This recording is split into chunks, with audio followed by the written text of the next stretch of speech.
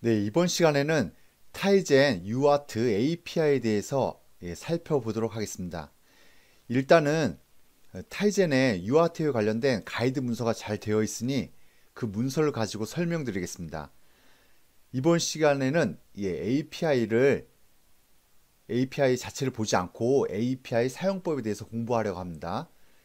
예, 그러면 처음부터 처음에 이제 dax.tizen.org 예, 사이트에 들어가시고요. IoT를 클릭하시면 이번에는 이제 API 레퍼런스가 아니라 API 가이드를 클릭하시면 됩니다. API 가이드 메뉴에 타이젠 peripheral IO native API를 클릭하시고 그 아래 프로토콜 이제 UART UART를 열어보시면 예, 그 내용을 이제 확인할 수 있으십니다. 오늘 이 시간에는 어, 이 페이지에 있는 모든 내용들을 예, 이 페이지에 있는 모든 내용들을 꼼꼼히 살펴볼 예정입니다. 네, 이 정도 길이 내용이 되겠, 되겠네요. 네, 그래서 유아트를 이제 설명드리려 하는데 이 그림, 이 그림을 먼저 참고하시는 게 좋을 것 같습니다.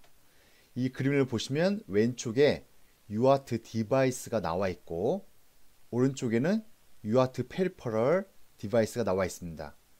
그래서 우리는 그래서 우리 경우라면 왼쪽에는 이제 라즈베리 파이가 있는 거고 예, 다른 한편에는 UART 프로토콜로 동작하는 온도 센서가 위치해 있다고 생각하시면 되겠습니다. 그래서 이 그림이 얘기하고자 하는 게 뭐냐 한쪽에는 TX 트랜스밋을 쓰면 뭔가 데이터를 전송하기 시작하면 뭔가 데이터를 던지면 다른 한쪽에서는 receive 예, receive 받아야 한다는 것을 알려주고 있습니다. 그래서 TX와 RX를 연결하고 그리고 라즈베리 파이의 RX와 온도 센서의 TX 예, 온도 센서의 TX를 연결해야 합니다. 그 말은 서로 이제 크로스를 해서 이제 연결해 줘야 한다는 것을 의미합니다. 만약에 TX와 TX를 연결하고 RX와 RX를 연결하면 당연히 동작하지는 않습니다. 왜냐하면 둘 다 서로 보내려고만 하고 아니면 둘 다 서로 받으려고만 할 테니까 반드시 이렇게 예, 크로스로 연결해 줘야 합니다.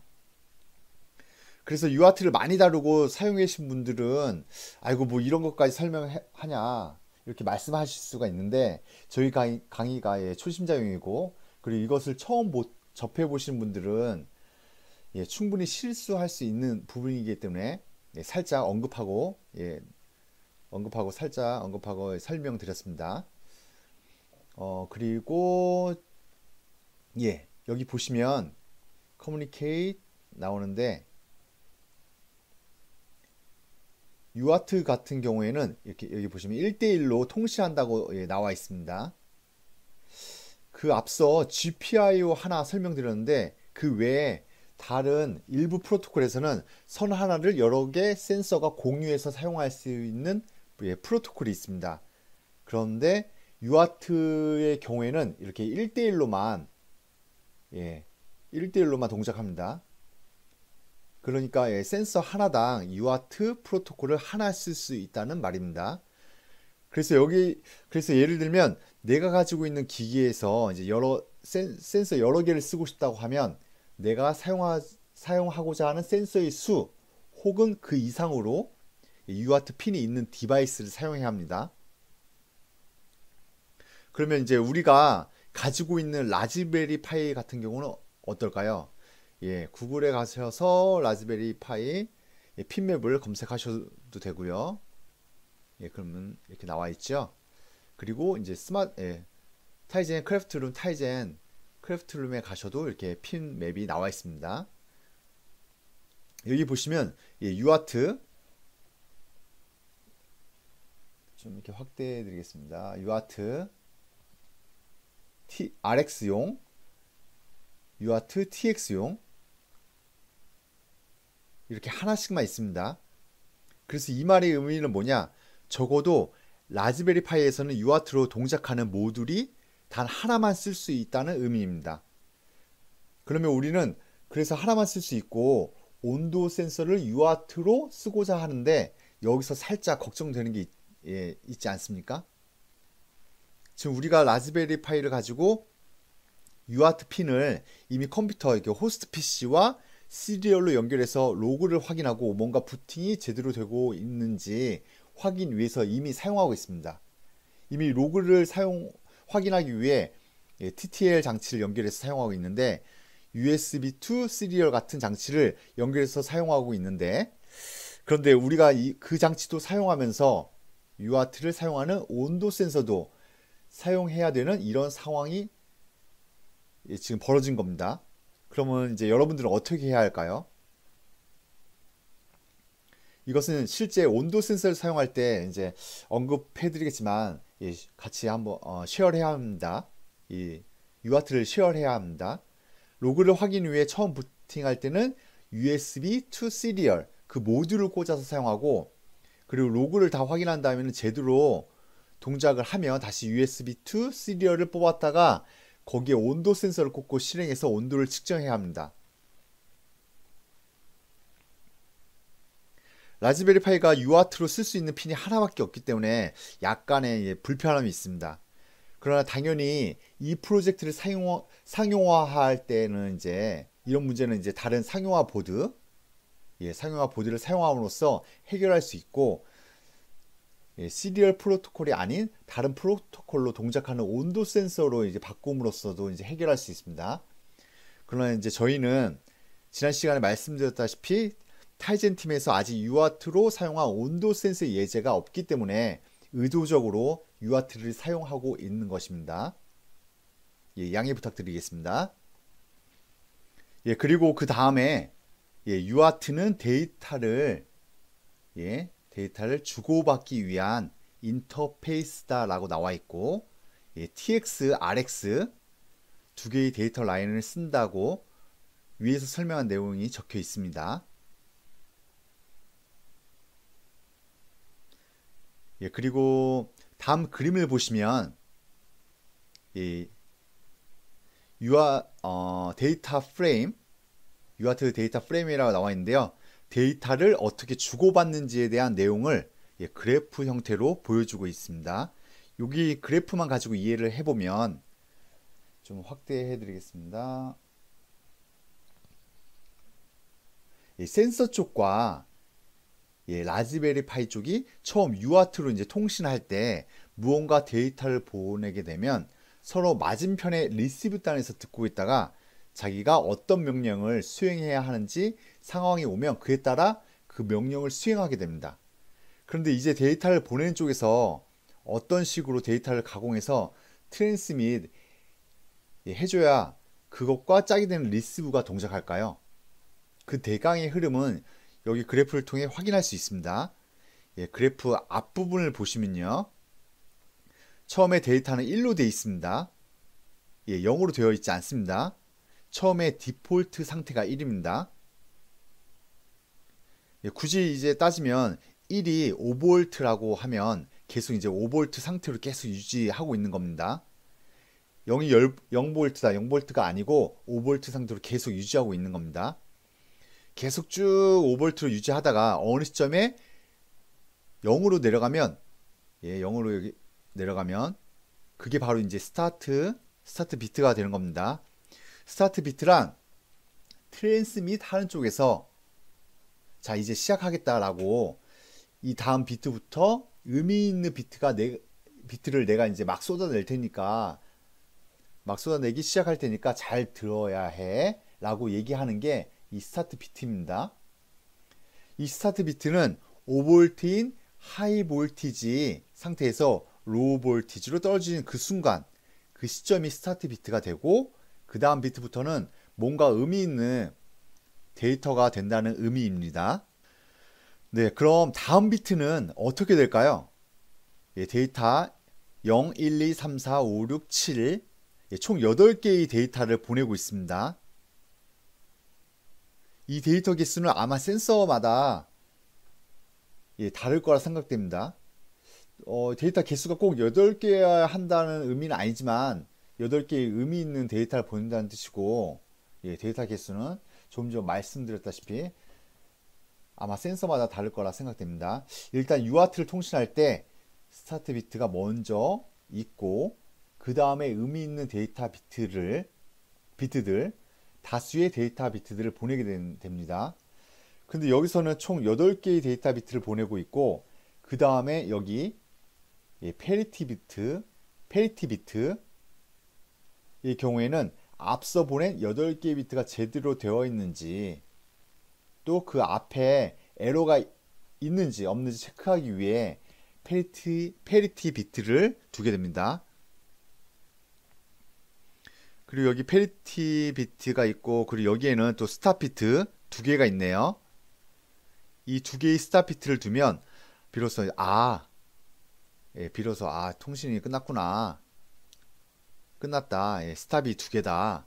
stop 비트는 다 1과 1이네요. 이렇게 stop 비트 두 개를 보내면 통신이 다 끝났다라고 서로 이제 확인하게 되는 것입니다. 그래서 우리가 설정해야 되는 이 데이터인데 여기서는 한 데이터의 단위가 8개였습니다 아니 8개가 아니고 다른 데 그리고 꼭, 꼭 8개여야 된다는 건 아니고 다른 데이터 단위도 쓸 수 있습니다. 그래서 단위를 결정하는 것을 이제 할 테고 이제 parity 비트를 사용 여부를 설정할 수도 있습니다. 그리고 API도 나오고요. 그리고 또 stop 비트를 하나만 둘 거냐, 이제 두 개 둘 거냐, 이런 것도 이제 정할 수 있습니다. 그런 것도 이제 API로 이제 우리가 다 설정할 수 있습니다. API 설정에 따라서 여기에 있는 실제 모양 이런 흐름으로 흐름은 이제 유사하지만 실제로 데이터 길이가 늘고 예, 줄고 parity 비트가 있고 없고 stop 비트가 하나냐 두 개냐 이렇게 이제 이런 게 세부적으로 이제 바뀔 수 있게 됩니다. 우리가 그런 설정을 이제 타이젠에서, 타이젠에서 제공하는 UART용 API를 가지고 설정해 주어 구체적인 이제 모양새를 가다듬을 수 있습니다. 네, 그래서 이제 여기서 이런 내용을 다시 설명해 주고 있습니다. 예, 먼저 스타트 비트 같은 경우에는 예, 통신이 시작하는 것을 예, 알려준다. 데이터를 실제로 보내기 전에 이 설정을 하면 통신이 시작한다는 것을 예, 의미한다는 것을 말씀드렸습니다. 그리고 데이터 같은 경우에는 예, 이 데이터 같은 경우에는 여기에 8, 8개의 비트가 있었는데 여기 보면 예, 5개부터 8개의 비트를 전송할 수 있다는 예, 의미입니다. 이 길이가 바뀐다, 바뀔 수 있다 이런 걸 의미하는 거죠. 그리고 parity 비트 같은 경우에는 전달한 데이터 중에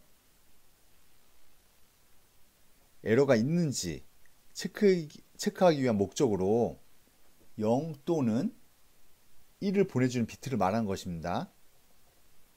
그리고 마지막으로 stop 비트 같은 경우에는 그래서 내가 parity, parity 비트를 비트까지 다 모두 다 보냈어 라고 하면 stop 비트를 설정하게 되고 stop 비트 값을 보고 받는 쪽에서는 아 이제 다 끝났구나 라고 확실히 인지할 수 있게 됩니다. 그래서 내가 이런 비트를 타이젠 API를 써서 가공할 수 있다는 의미인데 바로 이제 뒤에서 나오게 될 예정이고요. 예. baud rate 같은 경우에는 그래서 이, 제 빠르기 1초에 몇 개나 예, 1초에 몇 개나 이런 비트를 주고받을 수 있는지 그런 빠르기를 baud rate에서 이제 정하게 됩니다. 네, 그리고 좀더 예, 보충 설명을 드리자면 예, baud rate는 다른 프로토콜과, 프로토콜과 다르게 clock이란 게 없습니다. 예, clock이 없다는 의미는 사전에 센서와 라즈베리 파이 간에 비트가 내가 얼마만큼 1초에 보내겠다 라고 확실히 약속해서 딱 그만큼만 주고받아야 서로 데이터를 정확히 주고받을 수 있다는 겁니다. 만약에 한쪽에서 1초에 10개를 던진다고 하고 다른 쪽에서는 1초에 100개를 받는다고 하면 얘가 던지기 수는 1초에 10개인데 다른 애는 이제 100개, 무려 10배를 받고 있으니까 데이터를 읽는 쪽에서 더욱 촘촘히 데이터가 읽히게 된 거, 될 겁니다. 그 말은 데이터 하나를 던졌는데 다른 데이터 다른 쪽에서는 그 하나에서 10개를 읽게 될, 될 겁니다. 그래서 데이터를 주고받을 때는 서로 속도를 정확히 맞추어 정확하게 주고 정확하게 받아야 하는데 그것을 이제 baud rate로 이제 설정하게 되는 것입니다. 예, 이 같은 경우에는 센서에 이 센서가 지원하는 baud rate를 이제 스펙으로 확인할 수 있습니다. 이전에 이제 저희가 11만 5200을 쓴다고 확인했습니다. 예, 이전 뭐 홈페이지로 뭐 스펙 한글 문서로 들어가 보면 여기 11만 5200으로 나와 있죠.